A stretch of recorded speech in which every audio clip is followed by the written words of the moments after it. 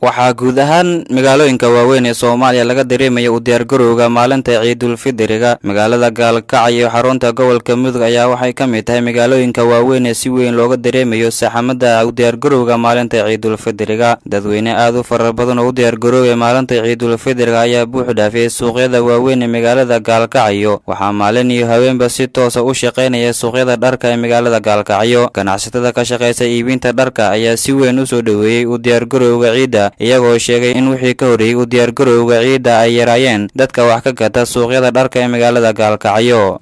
Maya aad iyo aad buu u wacan yahay. Iiddan iiddii hore aad bay uga wacan tahay. Alaabta si aad baa loo iibsadaa. Insha allahu tacaala suuqsaad u jeedtaa dad badan baa soo galay. Marka insha allahu tacala ilahay nimcaddiisa weeye. Suuqa aad buu u wacan yahay walaal marka ganacsatada aad baa maanta wax looga gatay. Bisha ilaa iyo bisha inta u dhexaysay aad baa alaabta loo gatay. Insha allah shanta maalmood oo dhimanna waxaan rajaynaynaa inay sidaan ka sii wacnaato. Sidoodaba inta hore waxaa dharka gataa carruurta iyo dumarka. Ragga inta dambey leeyihiin bisha waxa ka dambeeya. Hadda carruurtii aad bay u iideen oo dharkii waa gateen dumarkiina sidoo kale waa gateen.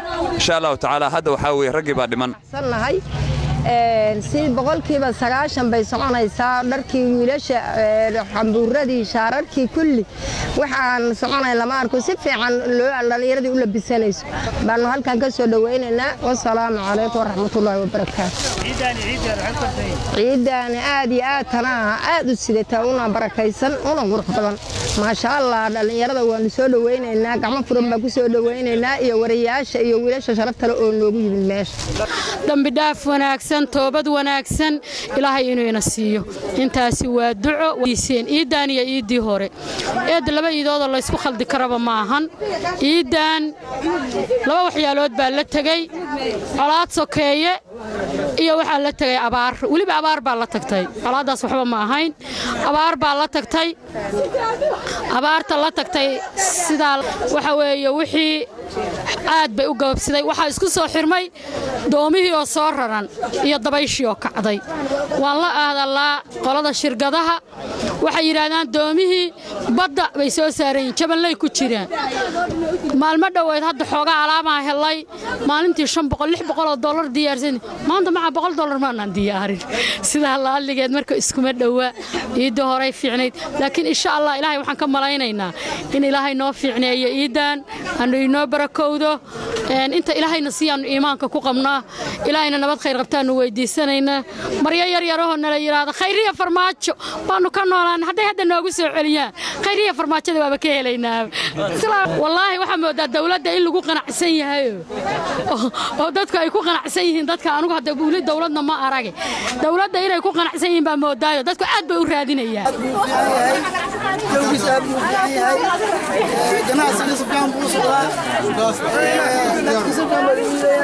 ciid mubaarag baan dhihi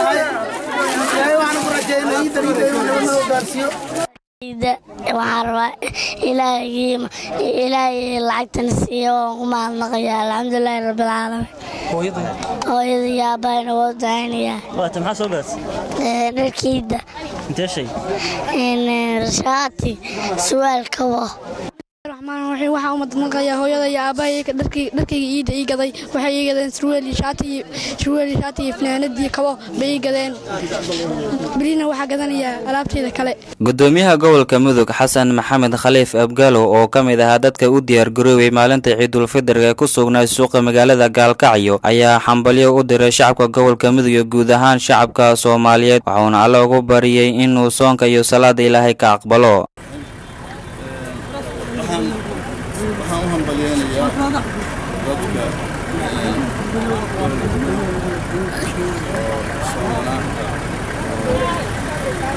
ramadaan soo socda inteeda kulmeed waxay nagu hareen.